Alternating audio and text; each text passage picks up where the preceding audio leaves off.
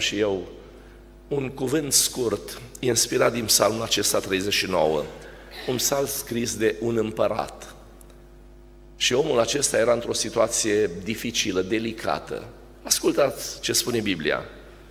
Eram nenorocit. Un foc lăuntric mă mistuia.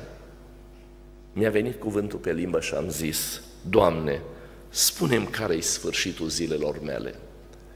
Oamenii sunt interesați cât trăiesc. La întrebarea aceasta, eu am patru răspunsuri care îmi sunt inspirate din Sfânta Scriptură. În primul rând, dacă ați fost atent la citirea celor șapte versete din Psalmul 39, știți ce îi spune Dumnezeu lui David? Când el întreba care este sfârșitul zilelor mele, Dumnezeu îi spune că viața e scurtă. Am cântat cu fanfara. Abel, îți amintesc, mi-ar place ca se duce viața ca un vis, bine ai venit din Statele Unite, să o cântăm cu vocile. Am cântat și eu după cor, dar îmi place când am pe cineva care mă conduce la cântare. Și spunea, Dumnezeu i-a spus, viața e cât un lat de mână, o nimica, omul este doar o sufloare, ca o umbră. Același lucru spune și Moise în Psalmul 90. Același lucru spune și Iacov, ca un abur care se alată puțin de el. Așa e viața noastră. Viața e scurtă. Întrebați-i pe cei care au ajuns la 75 de ani, dar întrebați-i pe cei care au ajuns dacă au ajuns la 90 de ani. Cum s-a dus viața? Foarte repede, că viața e scurtă. Apoi cel de-al doilea răspuns la întrebarea pe care o pune David este următorul. Adevărata bogăție nu sunt averile, nu sunt comorile. Spune psalmistul, da, omul umblă ca o umbră, se frământă degeaba, strânge la comori și nu știe cine le va lua. Dragii mei, adevărata bogăție este alta. Odată a venit la Domnul Isus Hristos un om, în Evanghelia după Luca, în capitolul 12, și a spus Domnul Isus, Doamne, văzând că Domnul se pricepe la toate, vino și spune fratelui meu să împartă moștenirea cu mine. Și Domnul a spus, cine a pus pe mine împărțitor peste voi? Și a spus o pildă, țarina unui om rodise mult, hambarele erau mici și omul a găsit soluția și a spus, stric hambarele cele vechi, voi face altele noi și voi zice sufletului meu, suflete, ai multe bunătăți strânse pentru mulți ani, bea, mănâncă, odihnește-te și veselește-te. Și în momentul acela intervine Dumnezeu, spune un cuvânt greu, eu îmi permis să-l spun astăzi de la învorul bisericii, pentru că e scris în Biblie, spune, nebunule, chiar în noaptea aceasta ți se va cere înapoi sufletul și lucrurile care le-ai strâns, ale cui vor fi? Dar aș vrea să ascultați concluzia acestei pilde, foarte importantă. Concluzia acestei pilde rostită de Domnul Isus Hristos în Evanghelia după Luca, la capitolul 12, versetul 21. Isus a spus, tot așa este cu cel ce își adună comor pentru el și nu se îmbogățește față de Dumnezeu.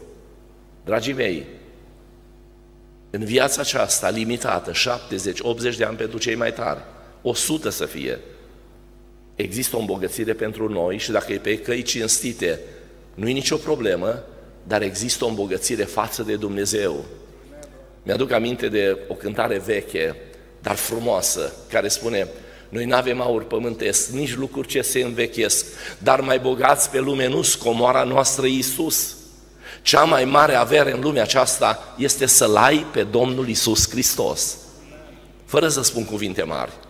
În seara aceasta aici sunt zeci de persoane care ar putea cu smerenie să se ridice în picioare și să spună eu l-am pe Domnul Iisus Hristos.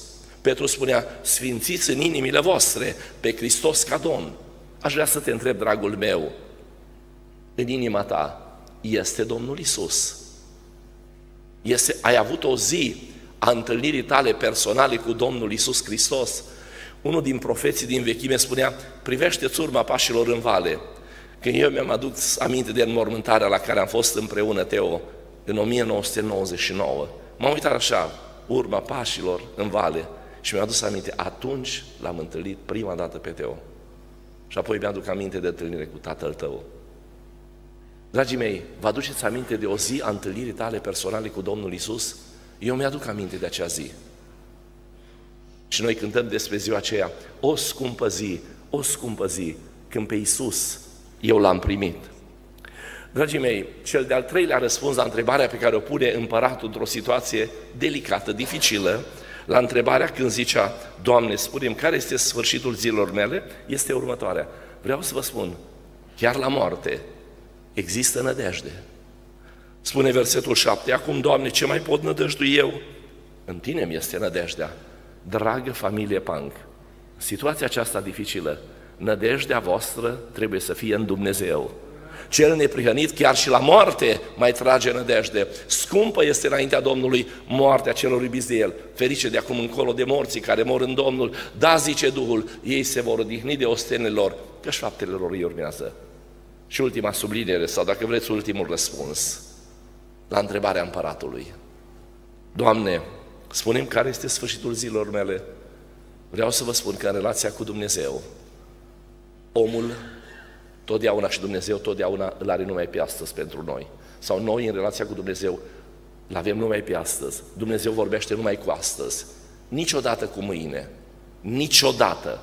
Dumnezeu îl are pe mine, pe mâine. Nimeni de aici, din cei care suntem la slujba aceasta de priveg, n-ar putea să se ridice în picioare și să spună eu sunt sigur că voi ajunge ziua de mâine. Dacă va voi Domnul, vom ajunge. Dumnezeu îl are pe mâine. Noi îl avem pe astăzi. Ni l-a dorit Dumnezeu. Și de aceea spun și eu ceea ce spune Scriptura.